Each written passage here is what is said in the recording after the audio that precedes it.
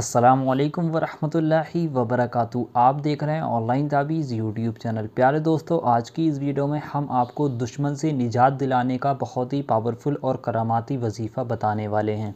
آپ کا دشمن آپ کو پریشان کرتا ہے، آپ کو کسی بھی چیز میں آگے بڑھنے نہیں دیتا ہے، وہ آپ کے پیچھے لگ گیا ہے، آپ لوگ پریشان ہیں۔ تو آپ لوگ اس وظیفے کو ایک بار کر لیجیے، دشمن آپ کی زندگی سے چلا جائے گا، آپ کو پریشان کرنا بند کر دے گا۔ اور جو ہے دشمن سے بدلہ لینے کا بہت ہی پاورفل اور کراماتی عمل ہے۔ آپ کچھ بھی کرتے ہیں، وہ اس میں ٹانگ اڑاتا ہے، تو آپ لوگ اس وظیفے کو کر لیں، وہ آپ کی زندگی سے دور چلے جائے گا، کبھی بھی آپ کو اپنا چہرہ نہیں دکھائے گا۔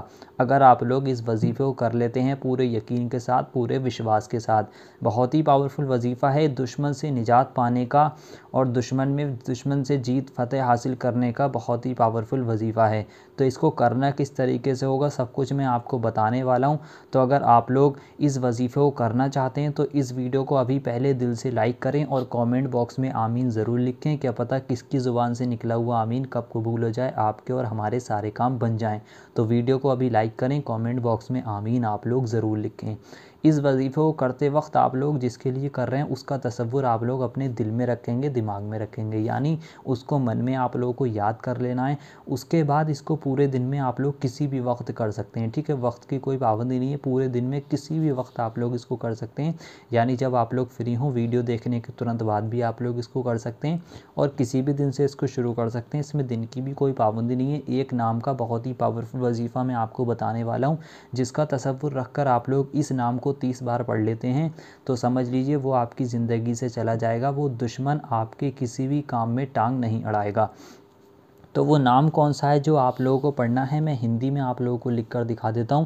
اس کو کرنے کے لیے سب سے پہلے تین بار شروع میں درود پاک پڑھ لیں۔ درود پاک آپ کی اسکرین پر دکھائی جا رہی ہے۔ اس درود پاک کو تین بار پڑھیں۔ اس کے بعد یہ آپ لوگوں کو ایک نام پڑھنا ہے۔ میں بڑا بڑا ہندی میں لکھ کر دکھا دیتا ہوں۔ آپ لوگوں کو یا قاب دو۔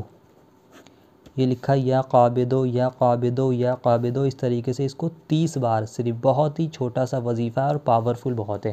تین بار شروع میں درود پاک پڑھیں، پھر پڑھیں یا قابدو یا قابدو یا قابدو، اس طریقے سے تیس بار پڑھیں۔ اس کے بعد آخر میں پھر سے تین بار درود پاک پڑھ دیں، وہی درود پاک جو آپ نے شروع میں پڑھا تھا۔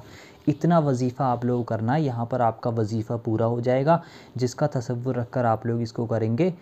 تو سمجھ لیجیے، وہ دشمن آپ کی زندگی سے چلا جائے گا، آپ کو کبھی پریشان نہیں کرے گا، کسی بھی چیز میں آپ کے ٹانگ نہیں اڑائے گا، آپ کی زندگی سے بہت دور چلے جائے گا اور جو ہے وہ اسے آپ سے ڈر لگنے لگے گا کہ وہ آپ کی آپ کے گھر کی طرف تک نہیں دیکھے گا۔ اگر آپ لوگ اس وظیفے کو کر لیتے ہیں، پورے یقین کے ساتھ، پورے وشواس کے ساتھ اس وظیفے کو کریں، جائز مقصد کے لیے اس کا آپ لوگ استعمال کریں۔ اور اس وظیفے کو کرنے کے بعد آپ لوگ اللہ سے ہاتھ اٹھا کر دعا مانگیں کہ یا اللہ، میں اس وظیفے کو اپنے دشمن سے نجات پانے کے لیے کر رہا ہوں، میرا دشمن مجھے پریشان نہ کرے، تو اس کے لیے آپ لوگ دعا کریں۔ آپ کی دعا ضرور قبول ہوگی، آپ لوگ اس وظیفے کو بھی کریں اور دعا بھی مانگیں تو آپ کا کام بن جائے گا، آپ کا مسئلہ حل ہو جائے گا۔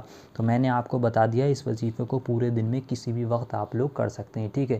اس میں دن کی کوئی پابندی نہیں ہے کہ آپ لوگوں کو اس کو سات دن کرنا ہے۔ آپ لوگ اس کو چند دن لگاتار کر کے دیکھیں یا جب آپ لوگوں کو اس کی ضرورت پڑے، اس وقت آپ لوگ اس وظیفے کو کر سکتے ہیں۔ تو ویڈیو کو لائک کریں، کامنٹ باکس میں آمین ضرور لکھیں۔ اور اس وظیفے کا آپ لوگ استعمال کریں۔ پاک صاف حالت میں نہا دھو کر اس وظیفے کو آپ لوگ کریں، ٹھیک ہے؟ اور اکیلے میں بیٹھ کر اس وظیفے کو کریں۔ وظیفہ کرتے وقت کسی سے بھی آپ لوگ بیچ میں بات چیت نہ کریں، ٹھیک ہے؟ اس بات کا خیال رکھیں، کسی سے بھی بات چیت نہ کریں۔ اکیلے میں بیٹھ کر اس وظیفے کو کریں۔ اور جو ہے من میں اس وظیفے کو کرنا ہے، ایسا نہیں ہے کہ آپ لوگ زور زور سے پڑھیں، یا قابدو یا قابدو اس طریقے سے نہیں، آپ کو من میں پڑھنا ہے نا، ہلکے ہلکے، یا قابدو اس طریقے سے من میں آپ لوگ پڑھ لیں تیس بار اور جس کا تصور رکھ کر کریں گے وہ سمجھ لیجیے، وہ دشمن آپ کی طرف دیکھے گا بھی نہیں آپ کا۔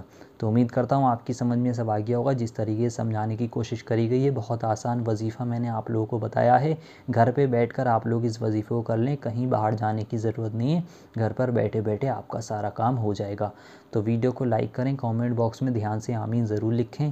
اور کامنٹ باکس میں سے کسی کا بھی نمبر نہ لیں۔ کوئی بھی بابا لڑکی کمنٹ کرتا ہے کہ میں تمہارا کام کر دوں گا، تو کسی کو بھی پیسے دے کر کام نہ کرائیں۔ سب لوگ فراڈ ہیں آپ کا پیسہ کھا جائیں گے تو ہوشیار رہیں۔